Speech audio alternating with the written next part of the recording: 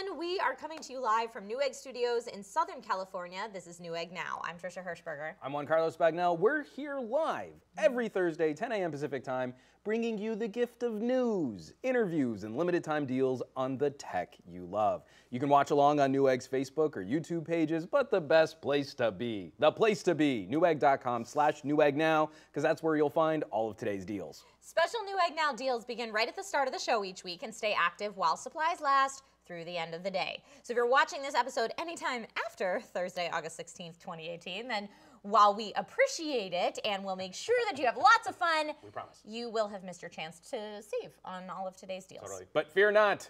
Just remember to mark your calendar for Thursday, 10 a.m. Pacific time, because we'll keep coming back with more deals. It's almost a threat. So this is our 38th episode now, and I don't see any signs of us slowing down. No, man, we're on that. doing it. We're doing it. Uh, so let's start things off with a look at a couple of those Newegg Now deals that Yeah. we're teasing you with. Uh, starting with the Corsair Hydro Series H150i Pro RGB liquid CPU cooler. This is one of the coolest coolers around with dynamic multicolor RGB lighting, magnetic levitation fans, and precise pump control to let you balance performance and noise.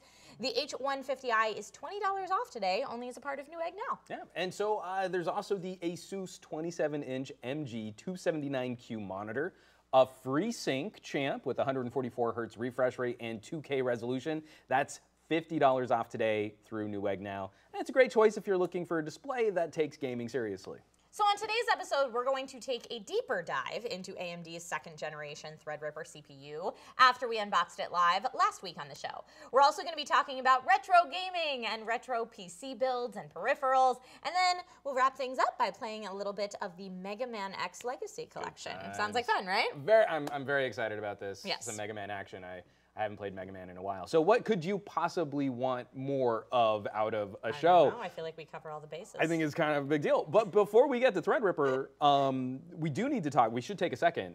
Uh, talk about the news out of QuakeCon this week Ooh, and the gameplay reveal for Doom Eternal. And uh, Trisha, I know you are all about the combination of first-person shooter and horror. You know, those are both my Your favorite top two things. things. No, but seriously, I mean, like, um, because this this has been kind of fun. I mean, like last week we talked a little bit about the uh, the gameplay footage from Red Dead. Um, what Mm-hmm. Yeah. did what did you think about the the Doom reveal? Um, so we actually have some footage that I think we can roll. Okay, here we go. Yeah. Uh, yeah, it, it looks really similar to Doom 2016, which. I, a lot of people were super, super into. Um, Yeah.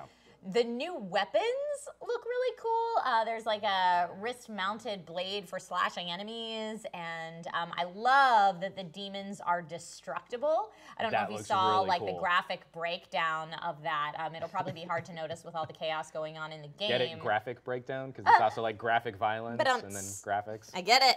Hashtag dad jokes. Um, no, but it, it does look really cool, and I really like that. What did you think of it, Juan? Uh, yeah, this is right up my alley. Again, run and gun, crazy mayhem, bloody, destructive, horror elements, but just you know all action.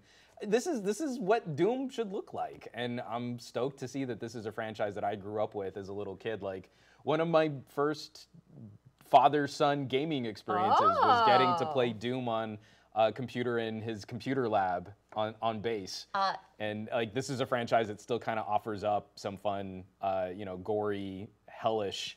Uh, gameplay. Probably not something I'm going to throw Lex into right away. Maybe not, I'm gonna, I'm gonna pump the brakes on that and wait just a bit. OG so. Doom was the game that got me into uh, figuring out how to take apart a PC. Okay. Because uh, I needed four whole megabytes of RAM to run this game, and our computer at home did not have it. That's and so I was like, well, how do I get more of this thing called RAM?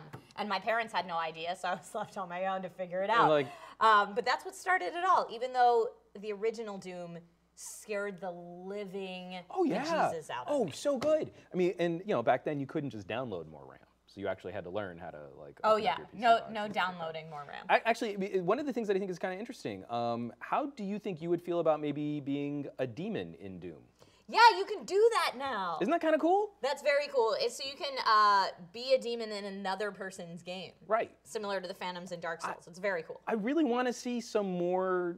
Like, like I would love to also see that hit a franchise like Alien versus Predator. Oh my god. You know, like where you could be You like a little alien. xenomorph. Yeah, you could be a xenomorph in someone else's like Predator game. I think that would be uh, that would be epic. But like Doom, again, absolutely the right place with this world we're in, with lots of uh, like these open world Destiny style things where you are a part of someone else's mission or gameplay, even if you're not really working on the same thing at the same time. Yeah. I like the idea of also being the bad guy. Of course you do, because that. you love horror games. So of course you would want to creep in my game and scare the poop out of me. Um, Let me know when you're streaming and I'll jump in. okay, sounds great. Great. Um, but like seeing the Doom Slayer or Doom Guy or the Doom Marine or whatever you want to call him back in action in this footage is really exciting, and it certainly got the crew here at Newegg Studios Yeah, a lot of chatter. debating where he ranks in terms of all-time toughest video game heroes. So Newegg's GameCrate posted a poll question on Twitter about it, based on a Reddit thread from a user called Shark Lord Satan, asking the question.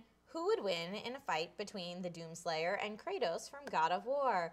Um, on that Twitter poll, 60% of respondents said that Kratos would take the fight. Mm-hmm. Uh, what do you think, Juan? Are people giving the Doomslayer the respect he deserves? So, I I think that I think that breakdown is is appropriate. Like Okay. like a forty percent camp of people For voting for the? Doomslayer. That actually does pretty good because on the surface you'd be like, well, Kratos is like a war god.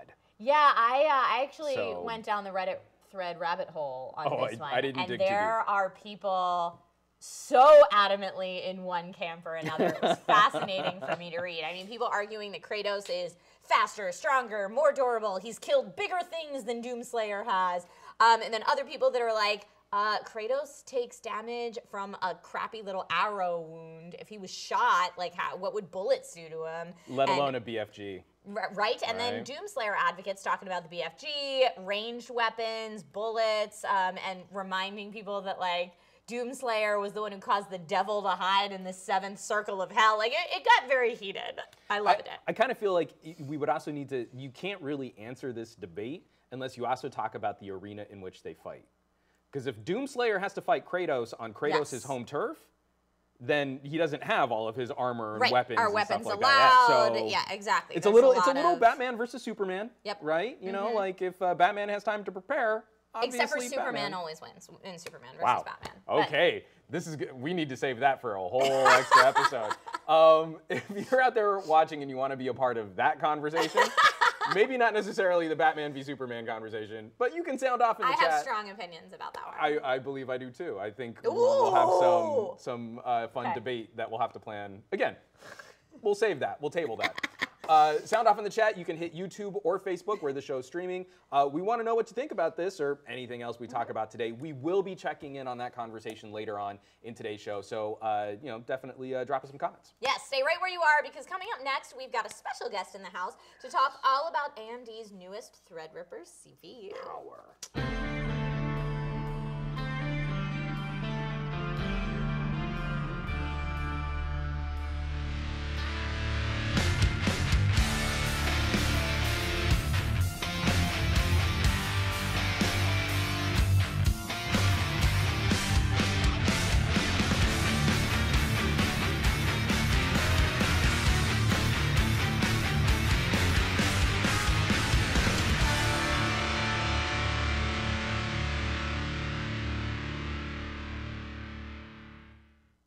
almost missed the cue coming back because we were still debating Batman v Superman. That's all right. To be Please- continued. Please continue. Uh, if you missed last week's episode, you, then you missed Juan and I unboxing the new second generation Threadripper CPU from AMD. Uh, it was just unveiled to the public last week, but it wasn't until this week that the embargo lifted on benchmarks and real hard numbers for this new processor, Yeah. and the early results have been very impressive. So, here today to talk to us about AMD Threadripper and the high end CPU wars, we have AMD's James Prior. Welcome, James. Thank you, guys. Thanks for joining us. So, uh, to, to kick things off, uh, can you just tell us what do you do at AMD? What's your job title? For sure. So I have a, probably a pretty cool title. I'm a product manager for the client enthusiast team. So I get to build the really cool stuff that we've seen in the market today, Ryzen, Threadripper, that kind of stuff. I do a little bit of biz dev, a little bit of spokesperson duty, showing up places like this. Thank you so much for having me. And also working on product definition, product strategy. So very broad role. And is, like enthusiast is in the name, Right. So Yes. you're enthusiastic about Yeah. getting Yeah. to play with these toys. Yes, enthusiastic about it, building enthusiast products like Threadripper. Nice. Uh, so before we get into the nitty gritty of second gen Threadripper, can you talk a little bit about how we got here. What should people know about the original Threadripper and specifically who came up with that really cool name? Yeah, for sure. now, so Threadripper was a, a, Skunkworks project. It wasn't originally on our roadmap. Actually, me and a couple of other guys um, put together a, a concept. We, we saw the great technology that was coming and figuring out a way to say, you know, we've got this, this beautiful market opportunity, this beautiful product we could do. Let's just go do it. So we worked on it in the evenings, weekends, spare time, clandestine phone calls when we were supposed to be working on other things. And fortunately, because our boss, Jim Anderson, is a huge CPU enthusiast fan as well, he loved it. and He greenlit it. And we were, was, the name came from when we were uh, doing the ideation and the thinking around Ryzen. We're thinking, you know, what are we going to call Ryzen? We had a whole bunch of names. We've got this world-class agency we were working with, giving us some suggestions, and Threadripper was in there. And, and Jim said, Threadripper, I know exactly where to use that. that. This is this is our this is our big guy. This is our monster product. So we're going to use that for that. That was boom. That was it right there and then. That's how that moment came to be.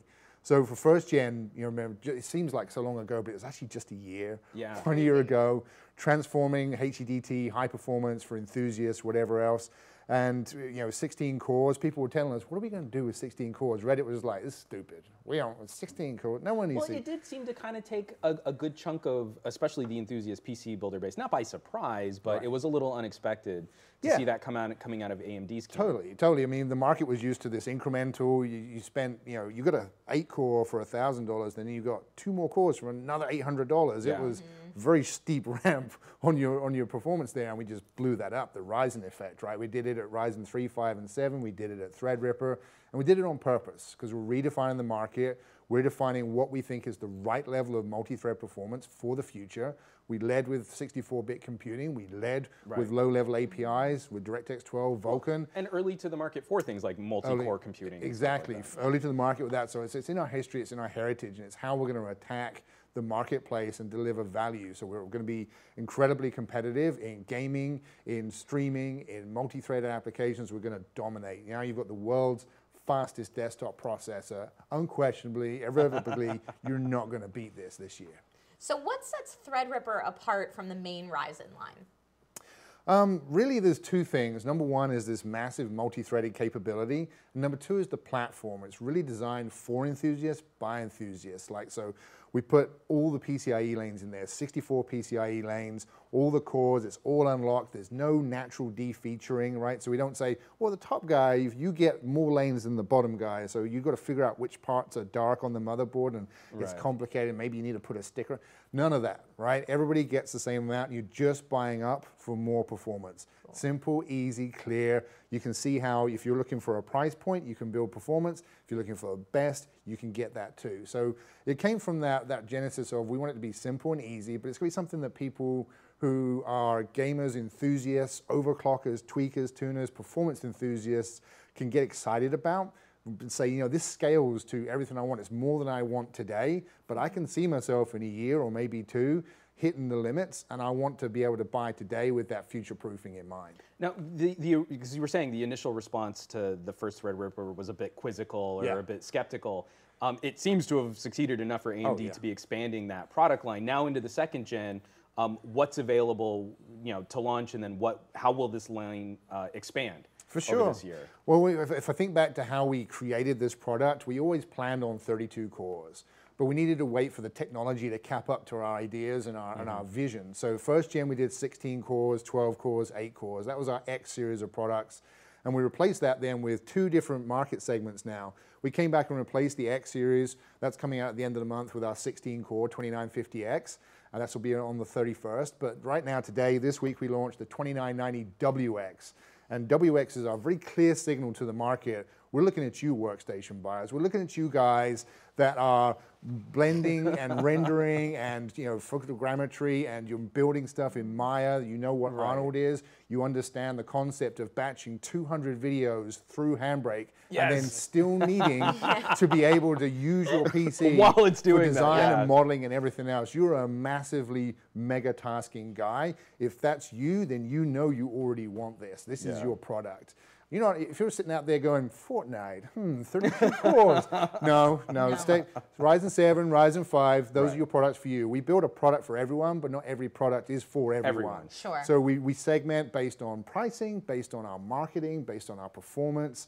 So that WX is really coming out strong and hard to take over the kind of the guys that are DIYers that love cores and threads for the sake of it, Yeah. but really focused on professionals. The guys that are buying from a local boutique builder, maybe one or three or five PCs, because there's just a group of them that work together, but they do world class work. They do movie quality visual effects. They do the highest quality render outs. They worry about things like subsurface light scattering Right. on 10,000 different light sources. Yeah. That's a conversation they have every day.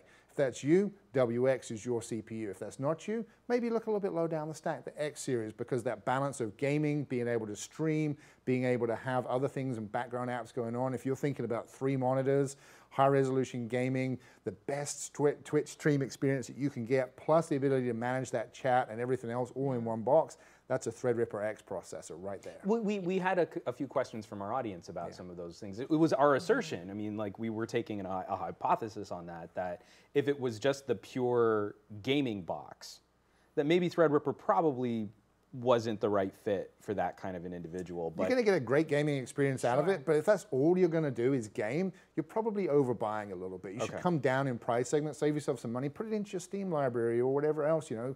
Save it for the games. Save your money for your games. Go for the Ryzen 5 or Ryzen 7, and those are going to deliver the same great gaming experience you see from the competitor products, but still have that multi-thread advantage. So if you're more casual, occasionally you might think about in the future dabbling in streaming, or right now you're just worried about, I need to be able to do my homework, I need to be able to do my finances, I want to get my photos for grandma ready to put them on OneDrive so she can screenshot them, whatever it is, right?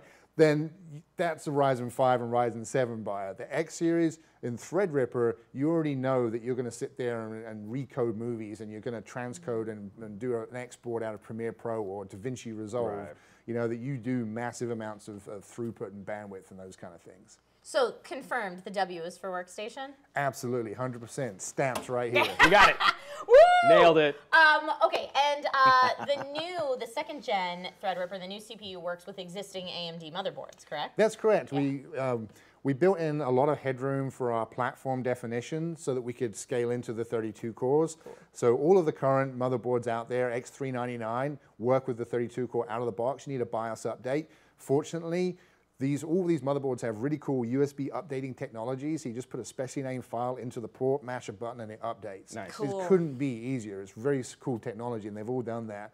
Now, if you're looking at overclocking, you might want to look at a couple of the newer boards that are out there, like the MSI MEG Creation or the Gigabyte Aorus Extreme.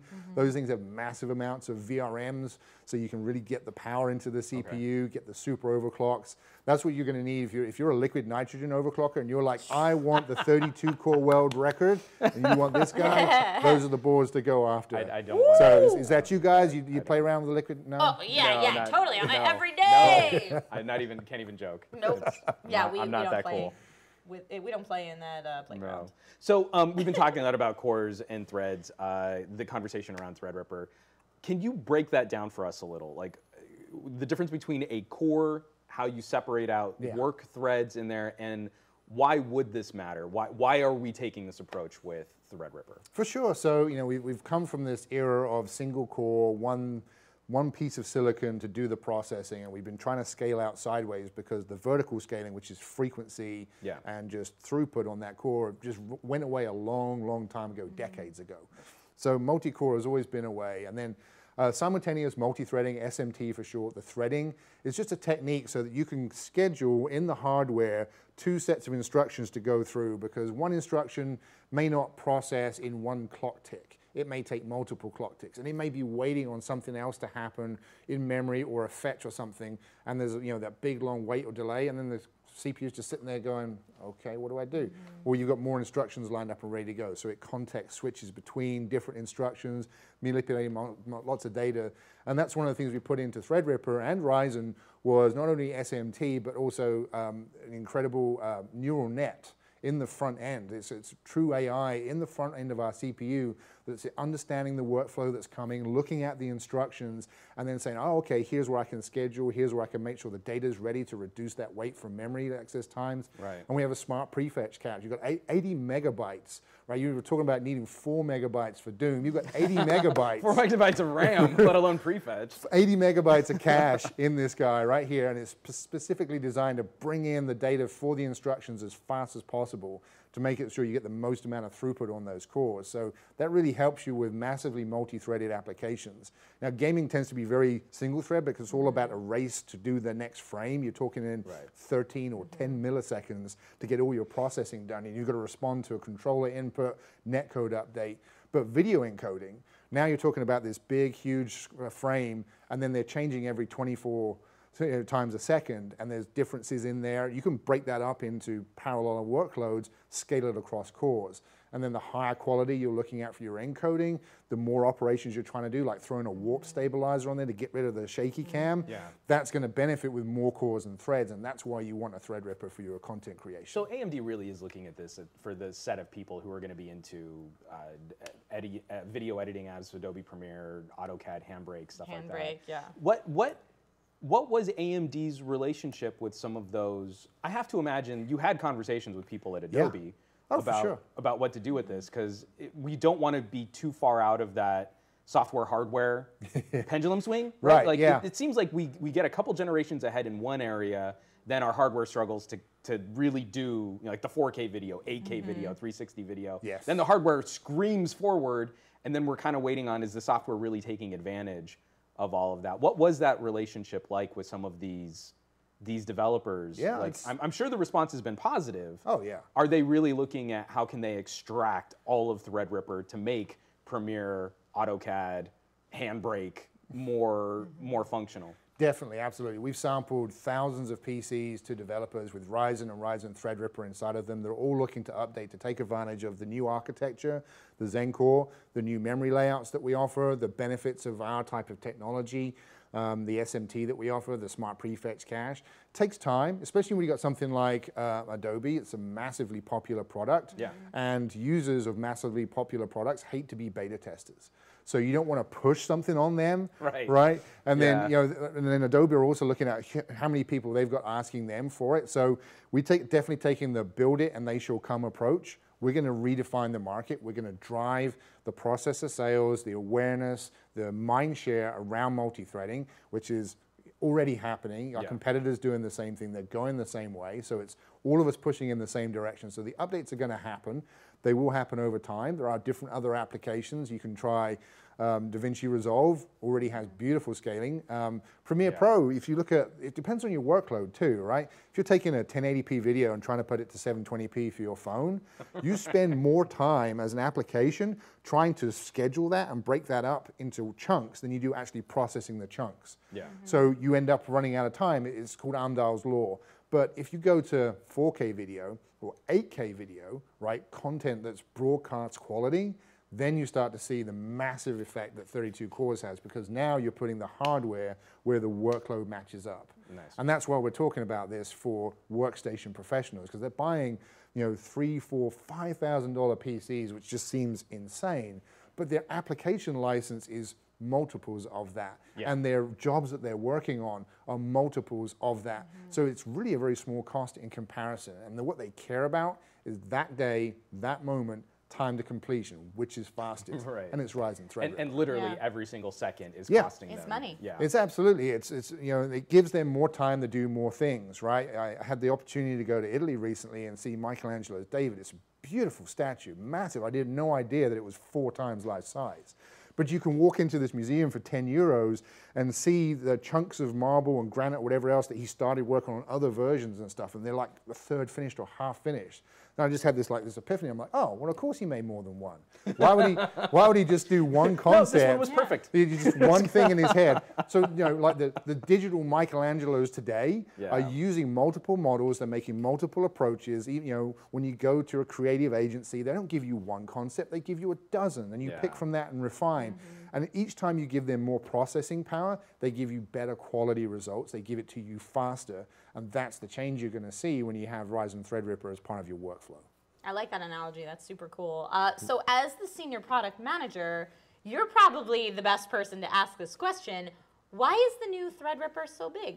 Like physically, why is it so big? Because we were we were Well- commenting on you know, like it's the whole my palm. Yes, is, it's a it's a massive chip. It weighs about as much as an iPhone 5, which is a fantastic thing. It led to our tagline of "Create with heavy metal" because it's you know just weighty. Yeah. So the reason why it came about is our design process. We are very modular. So inside of every Threadripper is top five percent of our Ryzen product. Okay. So that every Ryzen is born hoping to be a Threadripper. Five percent graduate. That's that's that's all you get. Okay. So that's the top bin. If you're an overclocker, you should be thinking, hey, man, I'm going to get better clocking results. Yes, Okay. you will. That, this is where you'll find All the right. best bin CPUs. Um, it- it- because we, we, you know, there's the, the meme on Reddit of we glued them together. Yep, Infinity Fabric glue all over the interposer. Drop two chips in there, call it the X series. That's our 12 and our 16 core. We put four chips in there for our 32 core. So you've got four Ryzens working together in synchrony, and they're just giving the full performance. You know, tons of bandwidth between the chips. We've got the, you know, each chip talks to each other at a 50 gigabit per second link. So you've got an aggregate of 150 gigabytes per second of data moving around inside this monstrous chip. Tons of performance, tons of power, and it needed a box to commensurate that with it, right? Right. You know, we- we heard a lot of feedback from our partners that they're like, you know, I don't want, if I'm spending this kind of money, I don't want something. It's gotta be an experience. That looks the same as your $50 product. Yeah, I want, Right. I want something that's an experience that redefines what I should be buying. And it was fantastic when we launched the first gen Threadripper, beautiful box. We were sending these to our system builder partners, and they were calling us and saying, "Hey, can you can you change my order from just the bare CPU to the product box ones? Why? I want to put that on a shelf, them?" right? well, the customers were calling them and saying, I want a Threadripper PC, but make sure you send me the box it came in because I want that for my shelf. Yep. This is, you know, that's beautiful. I was That's seeing so many. YouTube videos with those just sort Right? of casually in the Just in casually in the like, background, the sitting off desk to the here. side. It's nice packaging. Exactly. You know, I don't know. I haven't tried it myself, but I kind of feel like you could replace the chip itself with a five by seven of your family. I don't know if it's a frame for your photos now. I'm I, just saying. I'm just saying. I don't know. I, if, if I can offer any suggestions, I feel like the box has a disturbing lack of RGB. so like if, if my if, if my chair is gonna match my keyboard, I kind of feel like my display Threadripper box. We looked should long and hard at RGB for the box, and you know, it's that pesky shipping regulation I of just- batteries you know, going across the globe. I'm sure AMD it was, it was, can find a solution. It's solution. very, very close, but we'll figure it out. you know, one of the cool things we did with this box is you can see right through it, and it's got these orange pieces in it. When you hold it up to any kind of ambient light, it kind of glows by Yeah, itself. does. That's cool. So we tried to build a little you bit of light diffusion into there. So I just, thinking I'll do an orange build. right, all Yeah. that Do stuff. Yeah, practical effects RGB, you know. Um, so maybe this is a bizarre question, but we have to ask. So then what are the chances that the next generation of Threadripper CPUs are going to be even bigger? Like, are we approaching a future where we get something the size of like a Pop Tart? Yeah, we're kind of looking at the next level of concept now. We were thinking more 3D, so rather than a single pop tart, the 48 pack box, Got you it. know, going for bigger size like that. no, we're going to try have like and a cube. in Yeah, the the, middle the, the, the hypercube processor is coming it. next. It's going to glow. It's by itself. I don't know. It's, we, we're going to try and keep compatibility. We're going to try and keep uh, scalability because it's important for this market. People want that future proofness. They Yeah. want that consistency. So you know, it's it's. I think it's plenty big enough until someone else comes along, and takes the crown, and says, "No, my my CPU is bigger than yours." Then I think we'll leave it alone. Okay. That, I think that's perfectly fine. um, so the embargo for benchmarks, because we, we we had a little chat before we Yeah. jumped into the show, just talking numbers, and sometimes there's some controversy when we get into numbers. Um, sure. So we saw a ton of videos and articles from like PC World, Gizmodo. Um, I'm sure you've you've you've been keeping abreast, watching what people have been saying. Uh, what can you tell us in general about the, the sort of the public numbers that you're seeing off of the systems that people are testing Threadripper in, Yeah. and how that cor- corresponds. Because I'm sure AMD had their own set of um, goals that they were Yeah. trying to achieve with Threadripper. Yeah, for sure. So the overall, we're very pleased with what people are saying and seeing with the Threadripper process. It lines up to our expectations.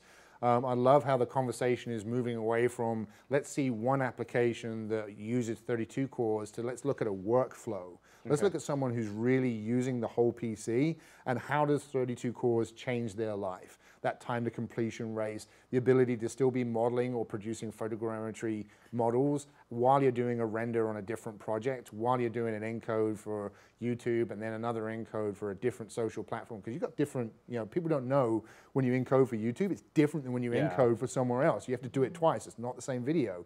And that, that's all something that goes on in the heads of creators. The, the casual guy that's looking on the outside going, I'm attracted by the high core count and the massive performance, but I don't know if I can use it. So Yeah. it's very nice to see that. There's obviously the differences between different OSs driving some conversation there. We're a very close partner with Microsoft. We'll have updates to help take advantage of the unique nature of this processor. In the meantime, the raw performance of the CPU core delivers dominant multi-thread performance in tons of real-world workloads that really matter to people out there buying today. Yeah. So we're seeing a lot of differences right there. We've got some cool tools in our own software suite like Ryzen Master, lets you uh, disable cores and threads, lets you adjust the frequencies, lets you adjust the memory access mode on the X processors.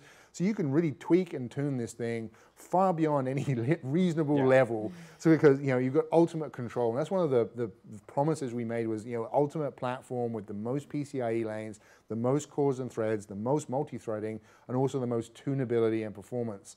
Uh, led to the creation of my favorite feature, which is pre- Precision Boost Overdrive. So this this Which is is just fun to say. I right? mean- Precision Boost Overdrive, it's you know, Overdrive. full-on metal name. Had to do it, and what it lets you do is increase your multi-thread performance between 10 and 13 percent with the click of a button, simply and easily. On top of the 10 to 13 percent you saw by going to a really good cooling solution. Yeah. So you can see like 20 percent uplift just by using one of the coolers out there. There's you know more than uh, more than a dozen, probably I think about two dozen right now that are compatible with the WX series, certified by AMD for the 250 watt TDP, like the Corsair H150. That's a great product for doing that. So that's a great combo right here by today. But It's you a good know, plug. Excellent. It's like, Yeah, you should, you thank should just you. do the show. It's, it's- that was great. But it's you know tons of performance that's there if you if you are thermally advantaged. We didn't define this product based on worst case, thinking about some guy I don't know maybe in the middle of the desert, at 32C ambient inside his house, is like you know 110 degrees, where you're just like, why would you ever use a 32 core processor in, In that, that environment? But there are people out there, so we have to define our product for that, and then bake in all the headroom for people who live in nice air-conditioned houses or have high-end cooling and that kind of stuff. So that really led to that creation and, and pulling all that together with Precision Boost Overdrive and extra performance. And it's, it's really fun because now you can get more multi-threaded performance out of a desktop PC with a click of a button than in most 2P servers in market today. Right. So there, there did seem to be, like, especially with the launch of the first Threadripper, I- I'm glad you, you brought that back up. The, the notion of disabling cores Yeah. or changing that, those performance metrics was one of those difficult concepts to, to kind of talk out, like, why would you want to do that? But there were applications which served that kind of usage. If you'll pardon the comparison to a competitor that we had on the show recently, where we were talking to Intel about Optane, um, their Optane program. And again, very similar in, in, in sort of trying to accomplish feeding data through a system. Right. That these benchmarks that were created around the time of spinning disk drives and two core CPUs aren't really reflective of what people are trying to do on a high-end system these days. Yeah. Um, so you've been finding that the conversation that outlets have been having, we're starting to acknowledge a, a more lifestyle approach to computing, not just this bar graph is bigger than this bar graph because this one application does this with one core at one time with one thread. Yeah, for sure. We when we first launched the 16 core, there were a few games out there that if you just tried to run them would just crash the desktop instantly. like no, it wouldn't Awesome. couldn't run. And then there were a few that just had, you know, they were pseudo multi-threaded. So they'd mm-hmm. look at the processor and say, how many threads have I got here? 32? Great. I'm going to create a whole bunch of worker threads and use each one that much. So it looked like it was trying to be multi-threaded, but it was really just taking a couple of threads worth of work and distributing it and just slowing ah. everything In down. a very inefficient way. So we, we were like, you know, okay, so how do we address this? What can we do? We can work with the developers, obviously, natural, yes, check, do that. What's the timeline for that? We're gonna wait for their Q&A, their patches, all that kind of stuff. And then you come back to what can we do now so that the day we launch, we offer a way to improve things. And that's where Ryzen Master came in and our gamer mode versus our creator mode, because uh, the best rule in the world, while we call this creators, creators are gamers too. Yeah. They love to have a little bit of free time, break it down, you know, and everybody's going to spend eight, nine, ten hours doing the rendering and then be like, all right, it's time to kick back. Do I really want to change systems, have a whole nother PC for gaming? Right. I just want to game right here. Or, hey, I know this job's going to take two hours, but you know, I could do some League or some Dota or some whatever, right? You could jump into PUBG in a little window and just play along, have some fun. Right. That's totally a thing that these guys are going to do. So that's why it gets tested in the media, and that's why we enable different modes so that you can say, okay, here's your level of performance. If you want to raise it up, you can get to here.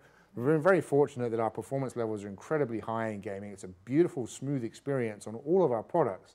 So you're really just chasing the, the benchmark charts rather than an experience difference. If you look at a lot of the, the different uh, titles we have, in our own testing, we saw like a 6% difference in gaming performance from competition to us. We were about 6% back. And that seems to be, everyone's like, you can't admit that. You can't say you're slower in gaming. Right. But that's on average a one and a half millisecond difference in frame time.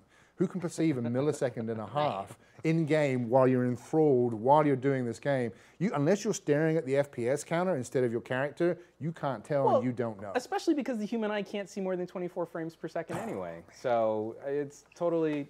I, she deserved to hit me for that. She probably should have hit me. That was that was not hard enough of a I, I tried. I, it, it's his birthday. I'm trying to be nice. Um, it's Juan's birthday, by the way, everybody. nice. Uh, but I feel like we've covered a lot of the big questions about this new CPU. Is there anything else that you feel like people should know about the second gen Threadripper? You know, it's the world's fastest desktop processor. Incredibly proud of that title. Um, it's compatible with all our motherboards. There's a ton of good coolers out there. We have a web page that lists all the cooling solutions. I think just about every one of them is on Newegg, so you can buy them today. All the motherboards are ready to go. Overall, I would say, you know, thank you for being a Ryzen fan to all the guys out there buying because it's really helping us turn around our business, get back into the mainstream gaming, the high-end segment, and it's incredibly pleasing for us to just less than two years from when we had you know zero product that you guys were interested in to now be fully scaled from 100 bucks to 1800 with the best technology at every price point. Thank you. nice. And, and so just just to just to be clear, 29.90 out now. Yes. Um, 29. 2950 comes out at the end of the month. Okay.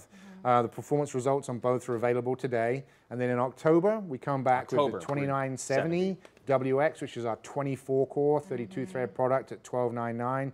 So a very fantastic price point right there. That's going to cause a lot of disruption and uh, really shake things up again. And then we have our 12 core 2920X coming in at 649 on that same day. So we'll come back with the specific details closer to the time. Excellent. All right. Well, James, thank you so much for for uh, dropping by to talk to us today. You're welcome. And I this I, I I have in my script. Good luck with the rest of the launch. I think you don't need. We'll take it. Uh, no, 100%. It seems like it's going Give me the well. luck. It's going very well. So Absolutely. excellent. Thank you so much. All right. Thank you, thank you, thank you. Um, guys, remember if you out there watching want to pick up one of these new CPUs yourself, we have that 2990WX on the newegg.com slash newegg now page right now. That's the 2990WX CPU with 32 cores and 64 threads of power. power.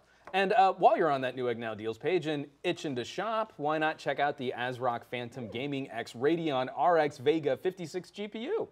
Uh, an AMD AMD build. That's $60 off the normal price today only and comes with a special bundle of games that includes Assassin's Creed Odyssey. Ooh, and keeping with our AMD times. theme, there are also two ASRock X399 motherboards on that Newegg Now deals page, both of which will work with your new Threadripper CPU, or some more mainstream choices if that's more your speed.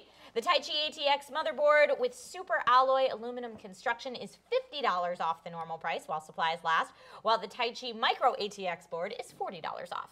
Newegg now has what you need to get your heavy-duty AMD build started. So shop on newegg.com slash Newegg now. Stay tuned to our show because we're going to be right back talking about some retro gaming.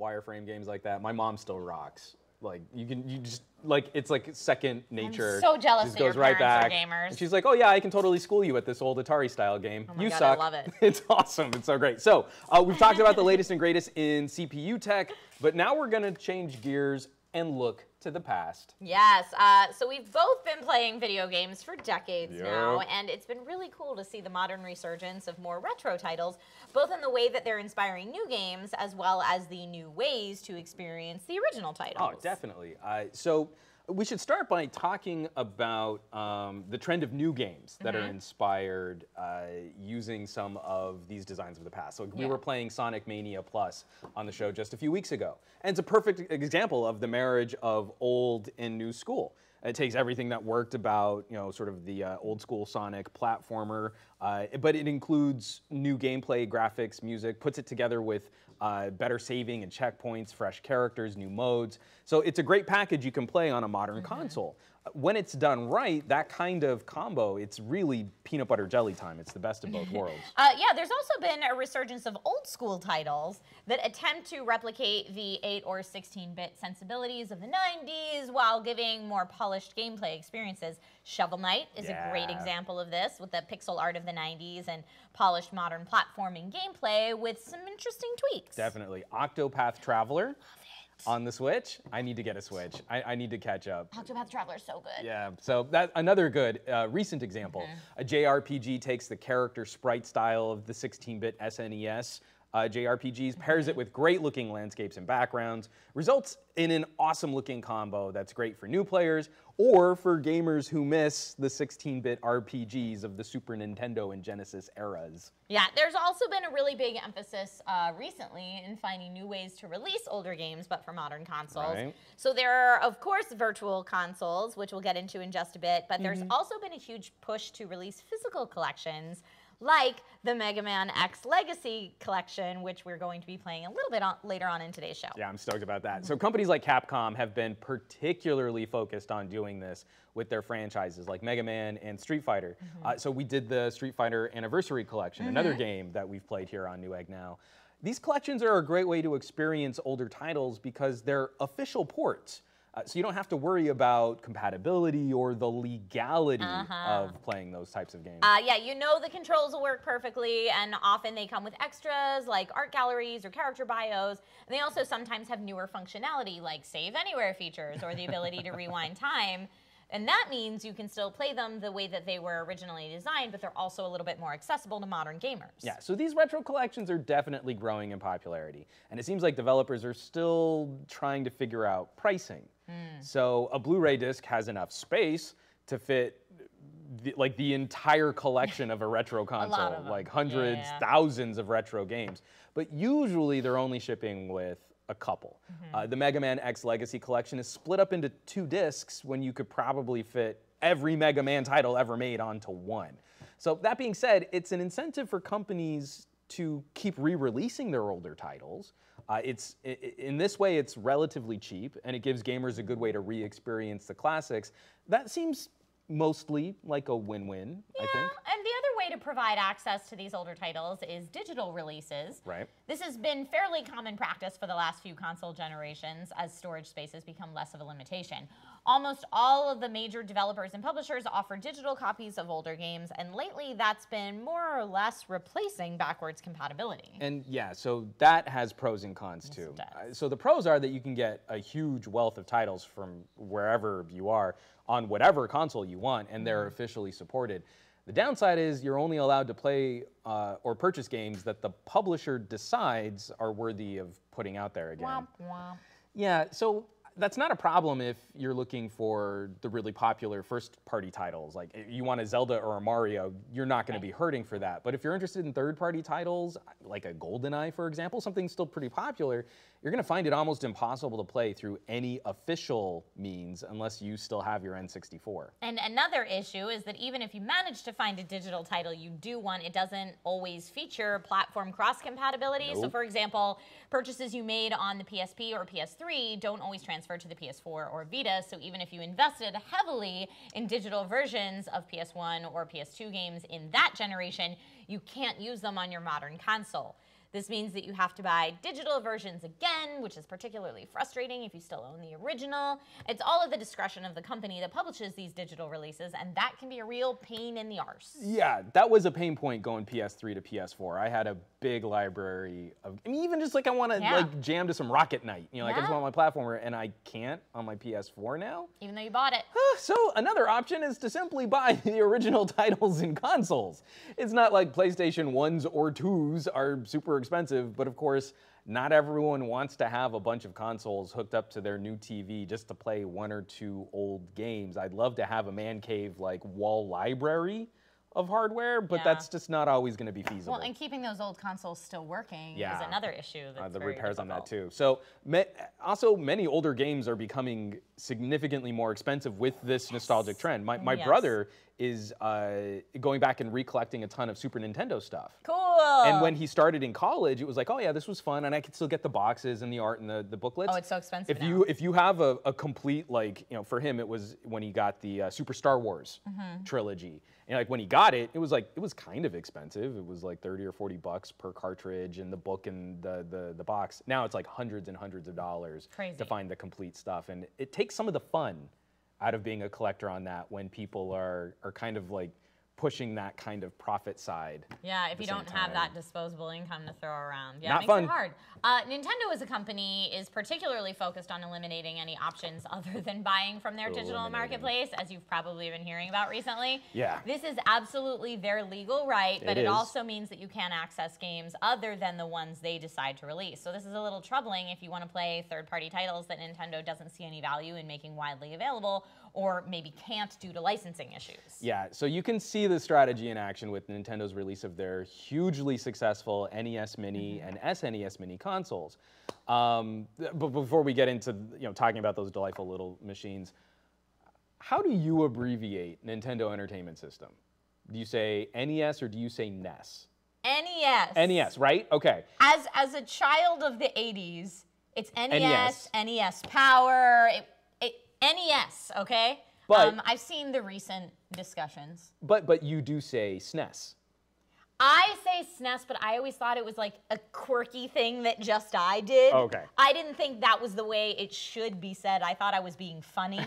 Uh, so i mean now that people are saying well nes is the way it's actually supposed to be pronounced gif gif uh, then uh, you know, then I'm like, well, now it's not funny anymore. It's now I just want to say SNES. It's it's obviously Nintendo Jif. Entertainment System. I don't know. How do you feel about it, Juan? So I've always said NES. I, I started saying SNES because of you. I'm sorry. I, uh, no, I mean, I think that's fine. I always used to say SNES, uh, but now I kind of want to start like de-abbreviating. Oh, you enjoy your Nintendo Entertainment System Mini console? Like, I want, I want to now like just to like make it super clear. and make myself like sound as old as I possibly. Are you playing the Nintendo Entertainment System right now? I love that. No, Mom, I'm playing Mega Man. Oh, do you play the Nintendo? And like, I the kind of want to. Nintendo. I'm just gonna start calling it the Nintendo I like from it. now on. Um, what do you guys think? Let us know your thoughts in the comments on Facebook or YouTube, and we'll get to them a little Yeah, bit later. send in the those comments. We have, we definitely have some opinions we'd love to kind of dig into on some of these strategies and especially what Nintendo's been doing recently. I think if there's one thing that we are not short of on this show, it's strong opinions. yes, Uh, regardless of how you pronounce it, Superman. the SNES and Nintendo Mini are essentially just Raspberry Pi computers placed inside adorable little cases shaped like the NES and the SNES with reissued controllers. Yeah. Uh, Nintendo gathered their greatest hits and used official emulation to resell them. I mean, it's a pretty neat way to reissue these old classics and allow people to experience them with the aesthetics of the old consoles, but with the convenience of HDMI, save files, and multiple titles all in one tiny accessible box. So rumors are, we like rumors. Rumors are that there could be an N64 Mini on the way. Yeah. So, uh, but it would it would be missing, I think, some of the the glory heyday titles of the N64, like um, like GoldenEye. I think would be a, a perfect example. Those rare titles. We won't have Yeah. Banjo or Perfect Dark. Uh, still, though, there are a lot of other great N64 titles. I mean, first uh, first party Nintendo games, definitely. Yeah. Um, that would be fun to experience again. I think that would definitely be a push uh, in the right direction for N64. I would love it if they do it. Um, but yeah, trying to play old games is an interesting struggle. On one hand, it's never been easier to find digital or even physical collections of older titles and to play them on everything from your phone to your PC. Oh, on the other hand, it's becoming more and more difficult to find older titles that aren't particularly popular in any official capacity. I like like super rare NES games from back in Yeah. the day. Big Nose the Caveman, Trog, like, and that stuff is practically impossible to find. Well, and even some of my favorite, like they were popular for the time, but they didn't really have franchise potential. Like Yeah. a, like a Blaster Master Okay. was a game so far ahead of its time in platforming and in Zelda-style gameplay. It's gone now. Like, wh- wh- where do you get that game? Like, it doesn't really exist, and we kind of lose sight of that. That our media is a bit more fragile than I think Mm-hmm. people expect. Like a movie, if it's not making money, will just disappear. And you, you won't be able to watch it anymore if there isn't some kind of commerce behind it.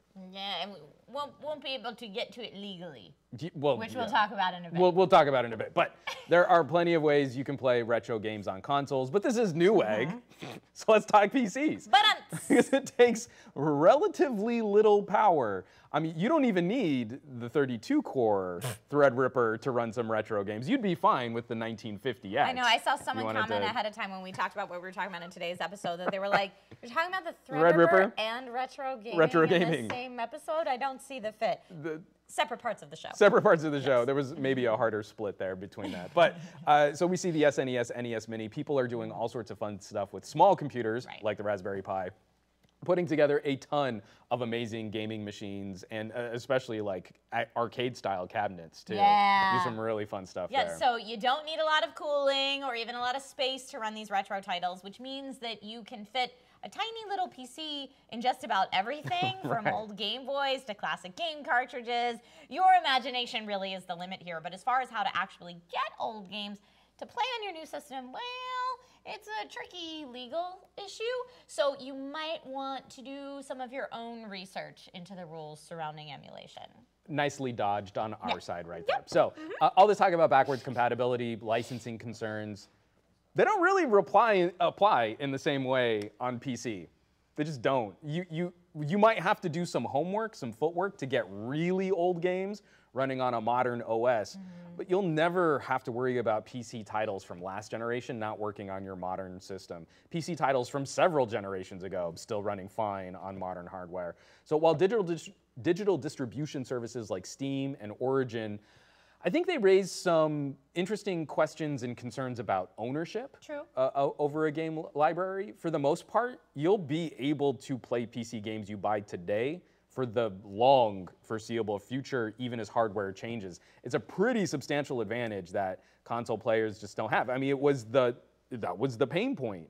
PS3 to PS4. I wanted to be really excited about my PlayStation 4 purchase, but the library of digital games I had was just rendered obsolete and unplayable. Yeah, it's it's probably the main reason why when a new release comes out across all platforms, I will purchase it Yeah. to play on PC. I'll purchase it through Definitely. Steam because then I have it.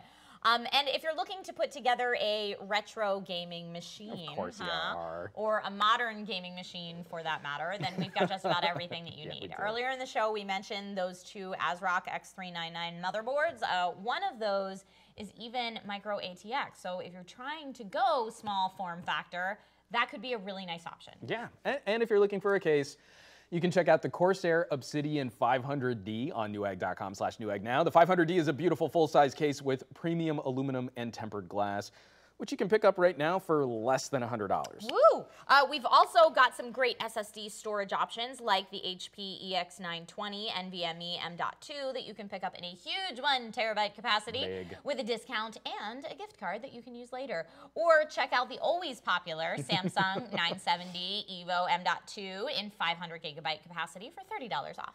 And of course, you'll need RAM. You'll need all the RAM. So head over to Newegg now, and you'll be able to get 16 gigabytes of the lovely Corsair Vengeance RGB Pro RAM for $20 off. Or 16 gigaby- gigabytes, 16 gigabytes, easy for me to say, of the G.Skill Flare X Series 3200 speed RAM for $30 off. We've also got some great power supplies from Corsair, like the 1000 watt HX1000 or the 650 watt Corsair RM650X, both discounted right now.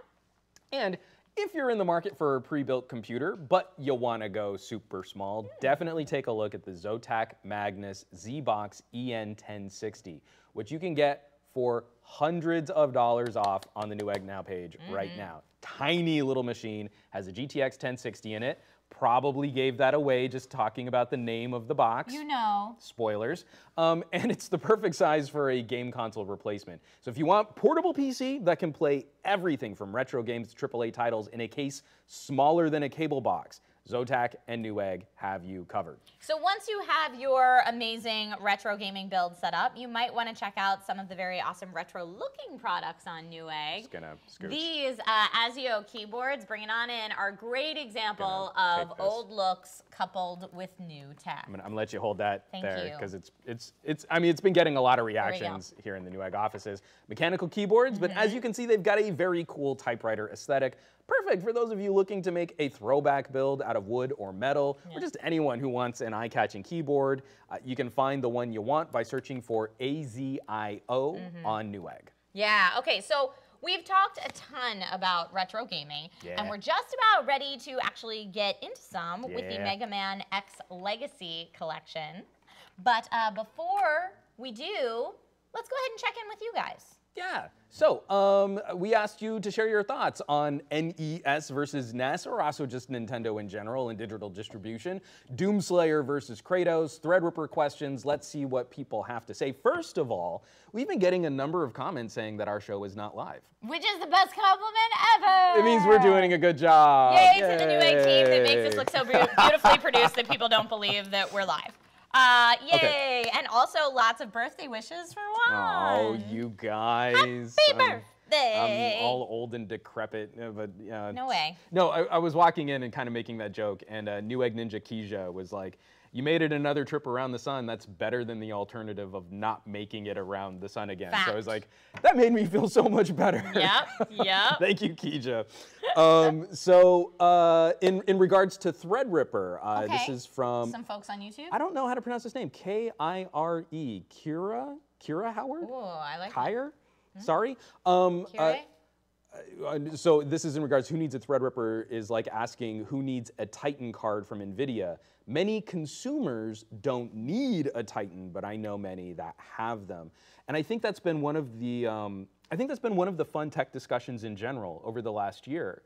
Is that we're kind of breaking out of this notion of a one-size-fits-all consumer approach and really doing a better job of delineating the different product segments. You know, like you've got a Galaxy S9 Plus, but there would be a reason why a Note 9 might make more sense for a specific individual. Absolutely. Not just saying this is the big screen phone that everybody wants. Right, which as a consumer is fantastic to Yeah. have those options. And I think the companies are getting a lot smarter about marketing to the specific consumer that is the right person for that product. Without leaving pros behind, like a certain company that makes types of mm. products that they call their products pros, but yep. they're kind of yeah, huh? So just saying. Um, Dustin Walker on YouTube says, uh, "Have you ever thought of the possibility of throwing two Threadripper in a uh, in a server board? What kind of insane power?" That's an interesting idea. Going multi-socket with a crazy multi-core solution. I, I have to believe. No, but I have to believe that there there are sys admin IT guys right now thinking about what to do with blade servers and how they can just stack um, those kinds of parts on top of each other. I, I'm, I'm sure. I'm- Wow. I am. I guarantee you that on the server side of that, AMD and Intel are looking at how to uh, how to layer those parts up as aggressively as possible. Yeah, I, well, I'd be surprised if people aren't already into it. Yeah, Yeah. like you said. Um, all right, Steve Disrash on uh, on YouTube says, "I'm happy that AMD start is starting to get mainstream again, Me at least. CPU wise. Hopefully, we're getting the new Radeon that can compete against the 11 series from Nvidia." Yeah, no, I'm, I'm Yeah. super stoked about that too. My first personal build was an AMD Thunderbo- uh, Thunderbird. Yay! And so uh, going multi-core, it was all about Athlon, and there's that soft spot in my heart, you know, that nostalgic, like, I love my Team AMD builds. I'm on an Intel right now. I still like it too, but we can do okay. I just always think brand competition ends up better for the consumer. Definitely. So I'm I'm I'm definitely happy about that as well, Steve. Yeah. So from uh, from Rurutu M, I always say S N E S, and that was immediately followed by Jeff Daniels, who says I always say Super NES. Yep. He so, puts uh, the so word in there. people are, you know, thinking. Uh, people are kind of in agreement, I think, on NES. And like I said, anytime I said SNES, I thought I was being funny. I was not ever legitimately saying that's how one should pronounce SNES No. or Super NES. I do kind of like the SNES. Like because it turns a, like a four syllable collection Right. of letters and into so that's the thing. a one working- syllable. When you work in the gaming industry, it is just faster to abbreviate it. But growing up playing the actual classic NES, it was the NES. It was the Yes. NES. Oh, definitely, and it had a robot. That was that was better Rob than Atari. the robot, who I always called Robbie, Atari- not his real name. no, not his name. I was young. Yeah, but but Atari didn't have a robot. I think that's why they lost. Well, Yeah. I'm sure. Uh, so thanks very much to take this off the everyone for sharing your thoughts today. We'll be right back with some Mega Man X, and while we get set up, let's check out that trailer. Do it.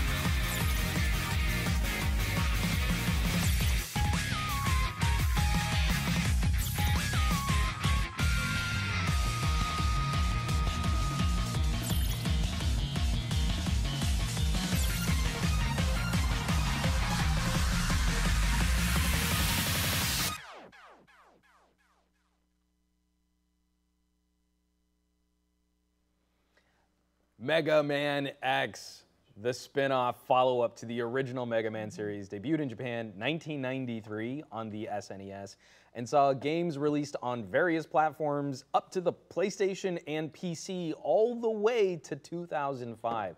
So, um, because this this sounds like it was kind of the era where you had already like shifted more into like PC. I had gaming, already so- shifted to PC, but I had uh, a lot of experience with the classic Mega Man. NES Mega Man. Yeah, yeah. NES Mega Man. Anything on the NES I know pretty well. Once you get beyond that, I had shifted over to PC. But how about you?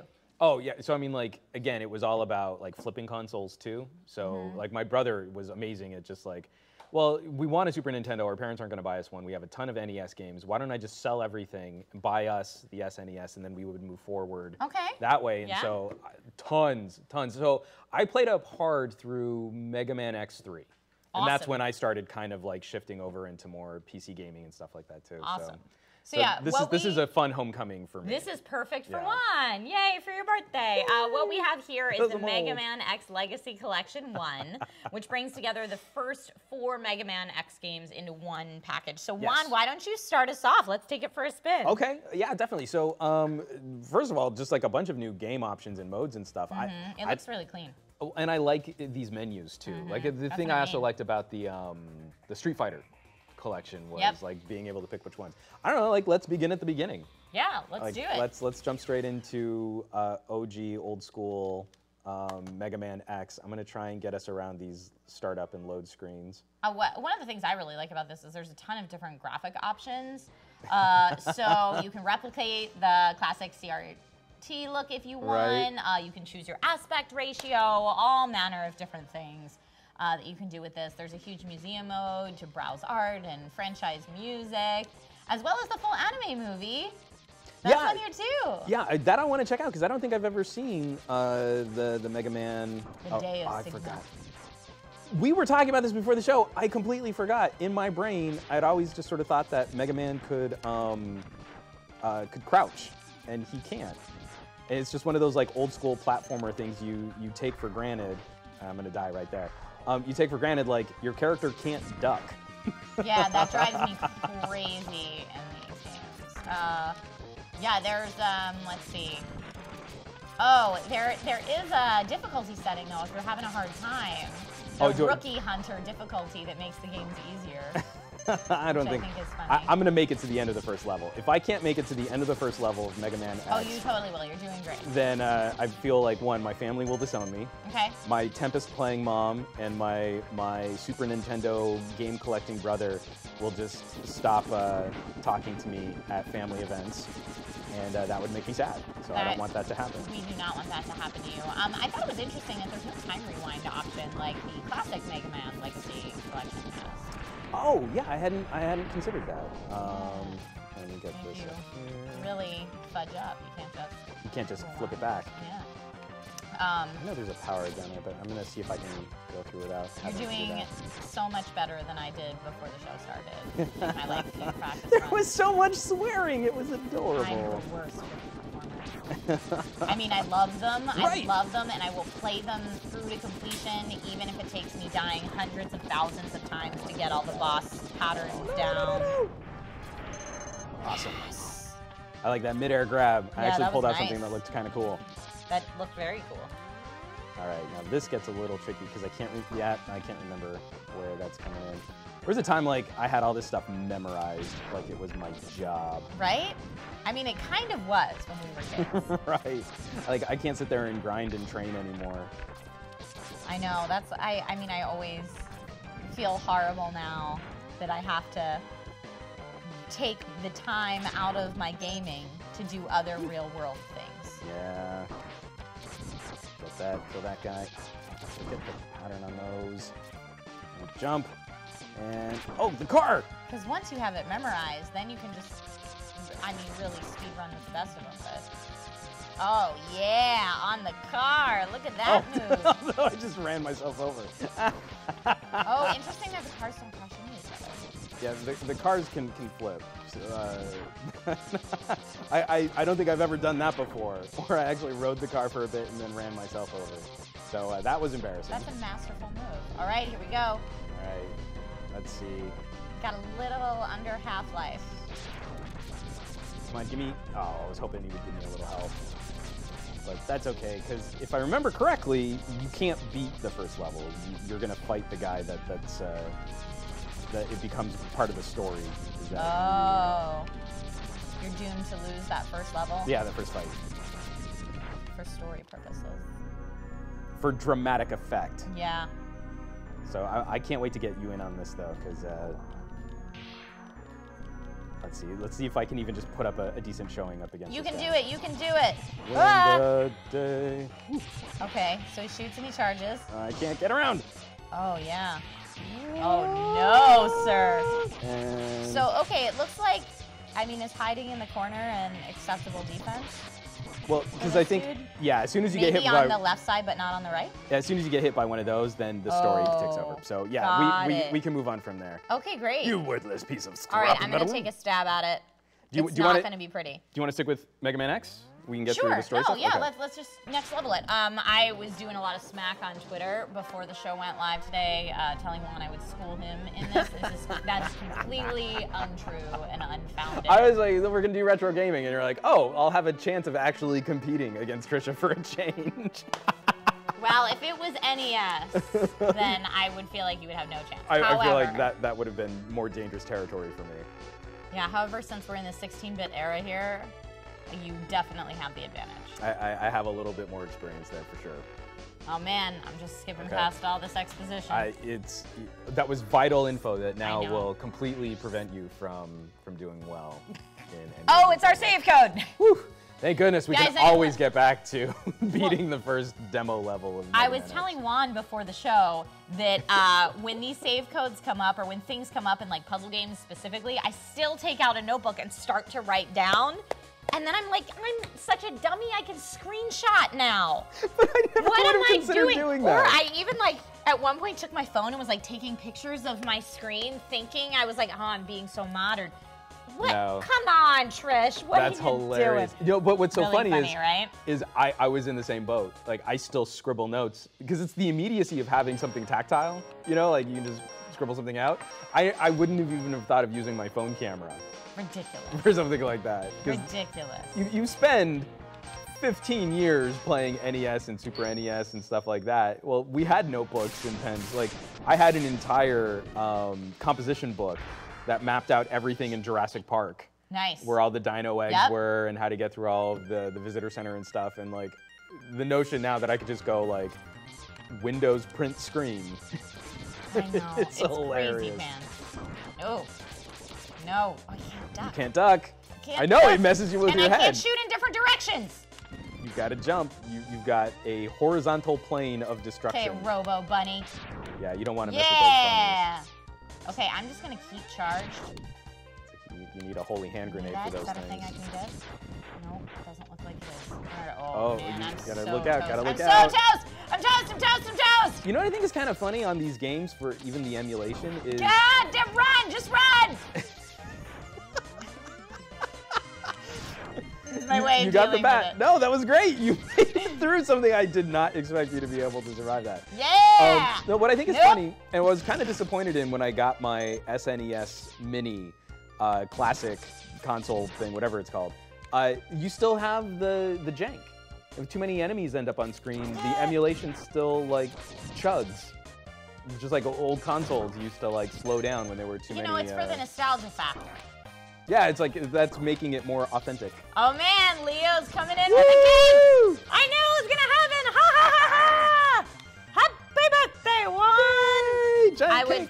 I would sing to you, but I wouldn't Oh, no. torture you like that. Because uh, no, I was gonna say you've got to focus on on uh, surviving because you're doing pretty well. Also, I'm tone deaf, so that would be unfortunate for everyone if Trisha tried to sing happy birthday.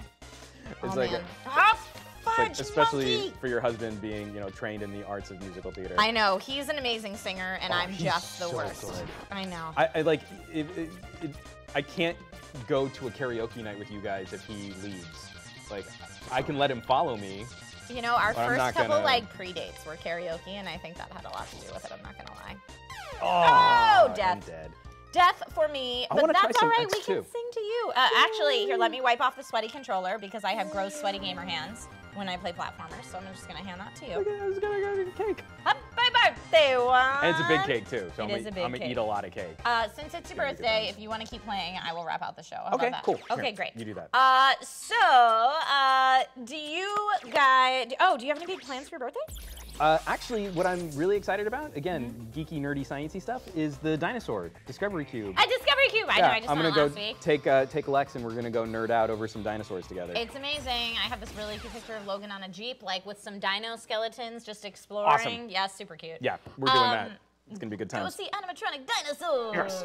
Uh, so remember, everyone who's watching out there, uh, you guys can always shop on newegg.com slash newegg now through the end of the day today while supplies last to get all the great deals that we talked about during the show. And even more that we haven't got to because we never get to them all in a show. You can save $30 on a new Samsung TV, $50 on a Tiamat gaming headset from Razer, or $100 on an HP Omen gaming monitor. Um, again, it's all while supplies last through the end of the day, only as a part of Newegg now. Um, get it. Get it. What are you fighting right now? Um, I just blew that guy up. He was in my way, Perfect. so he died. Uh, so thanks again to James from AMD for being part of the show today. And remember to check out Threadripper Second Gen Yeah. on Newegg.com to pick up one of those crazy powerful new CPUs for yourself. So thanks to all of you out there for watching. Make sure to tune into the show next week when we'll be talking all about laptops, drones, and lightweight tech. This has been Newegg Now.